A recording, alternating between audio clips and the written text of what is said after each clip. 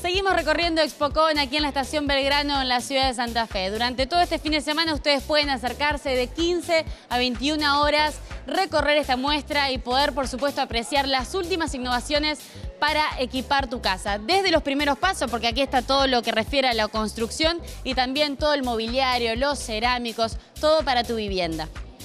Como ustedes saben, la tarea periodística implica estar informados y confiamos en el Diario 1, este suplemento que, se, que tiene toda la información necesaria de toda la región. Y hojeando este diario nos enteramos de una noticia, de que un grupo de investigadores que forman parte del CONICET, en la ciudad de Santa Fe. Específicamente trabajan en el INCAP, el Instituto Nacional de Catálisis y Petroquímica.